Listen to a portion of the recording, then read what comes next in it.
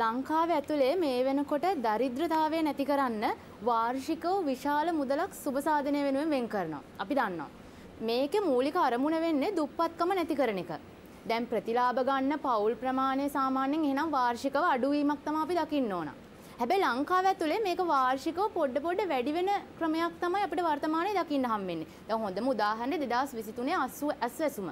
පළවෙනි අධීරය යටතේ පවුල් ලක්ෂ 20කට අස්වැසුම ලබා දෙනවා. හැබැයි 2024 ජුනි මාසේ වෙද්දී මේක පවුල් ලක්ෂ 24 වෙනකම් වැඩි වෙනවා. ඒ කියන්නේ පවුල් ලක්ෂ 4ක් වැඩි වෙලා. මේ වෙනුවෙන් ජාතික ආදායමෙන් රුපියල් බිලියන 205ක් වගේ මුදලක් වෙන් කරලා තියෙනවා. එතකොට දැන් අපි මේ ප්‍රතිලාභ ලබා දෙන ප්‍රමාණය වැඩි කරා කියලා අපිට සතුටු වෙන්න පුළුවන්ද? දැන් මේ ප්‍රතිලාභ ලබා දෙන්නේ කවුද? දේශපාලන නායකයෝ, දේශපාලන නියෝජිතයෝ. අපිට හිතන්න පුළුවන්ද මේ ප්‍රායෝගිකව මේ මේ විදිහට ප්‍රතිලාභ ලබා දෙන එකෙන් අර අවශ්‍යතා සීමිත අවශ්‍යතා වැඩිපුර අවශ්‍ය වෙන මිනිස්සුන්ට හරියටම ප්‍රතිලාභ ලැබෙනවයි කියලා. මං අහන්නේ මෙහෙම ප්‍රතිලාභ ලබා දීලා මෙහෙම සුබ සාධන ක්‍රියාවලියක් ක්‍රියාත්මක කරලා වසරක් වසරක් පාසා ලබා දෙන ප්‍රතිලාභ ප්‍රමාණය වැඩි කරලා අපිට මේ දරිද්‍රතාවය කියන එකට උත්තරයක් ලංකාව වගේ රටක් ඇතුලේ හොයාගන්න පුළුවන් වෙයිද? එහෙම හොයන්න පුළුවන් නම් ඔබතුමන්ලා පක්ෂයක් විදිහට මේකට ගන්න දීර්ඝකාලීන වැඩපිළිවෙල මේ වසර වෙද්දී අපි මේ ඉලක්කයට ළඟා වෙනවා. මේ වසර කාලය තුලදී අපි මේ ඉලක්කයට ළඟා වෙනවා කියලා මට කියන්න පුළුවන්ද? මට හිමාශා ප්‍රශ්නේ මෙන්න මේ පැත්තෙන් මම ගන්න කැමතියි. එකක් තමයි සුබ සාධනය. එතකොට ලෝකෙ කොහොමත් හැම රාජ්‍යයකම සුබ සාධනය කියන ඉවෙන්ට් එකක් තියෙනවා. ඒක නෑ නෙමෙයි. හැබැයි ඒ වුණාට අපි අවුරුදු 76ක් වෙනවා දැන් මේ නිදහස හම්බෙලා. ඒ අවුරුදු 76 ඇතුළෙම විශේෂයෙන් විවෘතාර්ථිකාව කාලයේ සිට මේ දක්වා ගත්තොත් එහෙම හැම රාජ්‍යයක්ම සුබ සාධන ක්‍රියාවලිය කරගෙන තියෙනවා. හැබැයි සුබ සාධන ක්‍රියාවලිය ඔබ මතු කරා වගේම අපිට තිබෙන ප්‍රශ්නේ සාමාන්‍යයෙන් රජයක් විසින් සුබ සාධන ලබා දීමේ ක්‍රියාවලිය වෙනවා නම් ඒක ක්‍රමානුකූලව සුබ සාධන ලබන පිරිස අඩු වේගන යන්න ඕනකම තියෙනවා. එහෙම වුණා නම් තමයි ඕනම කෙනෙකුට තමන්ට සුපුරුදු වෙලෙදි ජීවිතය ගත කරන්න, තමන්ට සුපුරුදු හොඳ ආහාර වේලක් ගන්න, තමන්ට සුපුරුදු රැකියාවක් කරන්න පුළුවන් තත්ත්වයක් එනවා. තමන් ස්වාධීන තීරණයේ තීරකයේ බවට පත් වෙනවා. හැබැයි නංගි වුණේ ඒක නෙමෙයි.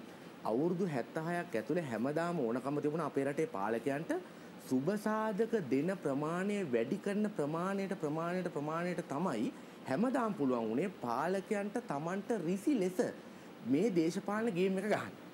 ඒක නිසා සුබසාධන එක දිගටම සිදුවෙමින් තියෙන්නේ තමන්ගේ අතින් දෙනවා වගේ. තමන්ගේ දේශපාලන පක්ෂෙන් දෙනවා වගේ. දෙන සුබසාධන ක්‍රියාවලියක් තමයි තියෙන්නේ. අපි මම දන්න විදිහට සාමාන්‍ය අන්ත දුගී අන්ත දුගී. ඒ කියන්නේ හරියටම ආහාර වේලක්වත් නිවැරදිව ලබා ගන්න බැරි ලක්ෂ 25කට වැඩි ප්‍රමාණයක් ලංකාවේ තුල ඉන්නවා අන්ත දුගී ප්‍රමාණය. එතකොට මේක ඇයි නඩත්තු කරන්නේ? නඩත්තු කරන ක්‍රියාවලිය තියෙන්නේ ඒක පෙරලා ඒ ඒ දේශපාලන පක්ෂයක ප්‍රොජෙක්ට් එකක් බවට පත් වෙලා තියෙනවා. ඒක නිසා අපි දන්නවා දැන් ගම්වල කියනවා අපිට ටකරමක් දෙන්න එනවනම් ෂුවර් එකට යා ෆැක්ටරියක් ගහලා ඇති කියලා. එක පැත්තකින් කියනවා දැන් අපිට රුපියල් 5000 අපි හාල් කිලෝ 20ක් දෙන්න එනවනම් ෂුවර් එකට හාල් කිලෝ 1000ක් ගහලා ඇති කියලා තමයි අප දැන් ගමේ මිනිස්සු කියන්නේ. ඒක නිසා අපි විශ්වාස කරනවා මේ සුබ සාධන ක්‍රියාවලිය අවසන් වෙන්න ඕනකම තියෙන්නේ සුබ සාධන එන්න ප්‍රමාණය වැඩි කරන දිශාවට මේ මේක ක්‍රමානුකූලව අඩු කරන දිශාවට.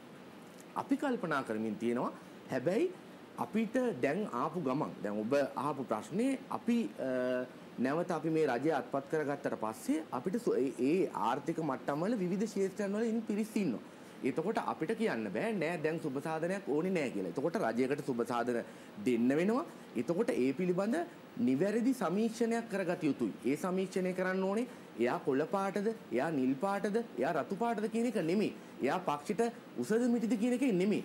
කරන්න ඕනකම තියෙන නිශ්චිතව ඒ දරිද්‍රතාවයේ ওই කුමන සීමාවෙද අපිට ඉන්නේ. ඒකේ ස්ථාන කොහමද? ඒගොල්ල අඩියමද ඉන්නේ? මධ්‍යම තැනද ඉන්නේ? නැත්තම් ඉහළ තැනකද ඉන්නේ කියන එක අපි ගණනය කරන්න ඕන. ඒක පළවෙනි දේ. ඒකට අනුව අනිවාර්යයෙන්ම නිශ්චිත සුබසාධන ක්‍රියාවලියක් අපි ආරම්භ කරන්න ඕනකම තියෙනවා. හැබැයි ආරම්භ කරන ක්‍රියාවලිය වෙන්න ඕනකම තියෙන්නේ එක්කෝ හැමදාම එයායි සුබසාධන ක්‍රියාවලිය ඉන්න නෙමෙයි ඒක ඇතුලේ පවුල්ලන ඉන්නේ විශේෂයෙන් අපි හිතන්නකෝ අම්මා කෙනෙක් ඉන්නවා. තාත්තා කෙනෙක් ඉන්නවා. ඊට පස්සේ අනිත් දරුවෝ දරුවෝ හතර දෙනා ඉගෙන ගන්නවා. එතකොට එහෙමනම් දරුවන්ගේ අධ්‍යාපනයට අපි කොහොමද ඒකට අදාළ කරන සුබසාධන දෙන්නේ? තාත්තා හරි අම්මා හරි ඒ කොහොමද ඔහු ඒ කියන්නේ රැකියාවෙන් යම් උඩ තැනකට එන්නේ? නැත්නම් අපි රැකියාවක් නැත්නම් ඔවුන්ගේ ස්වයං රැකියාවක් උස්සන තැනට කොහොමද අපි කටයුතු කරන්න කියන ප්ලෑන් එකක් තමයි අපි තියාගන්න ඕනකම තියෙන්නේ. එහෙම නිසා අපි අපේ පැත්තේ ප්ලෑන් එක තියෙන්නේ දේශපාලකයන් අතින් නැත්තම් gederin දෙන්න. ඒ සුබසාධන ක්‍රියාවලිය අවසන් කරනවා.